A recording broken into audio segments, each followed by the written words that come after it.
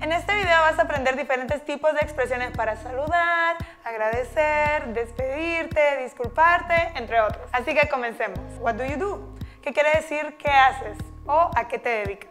I am eternally grateful, o sea, estoy eternamente agradecido. See you later, te veo luego.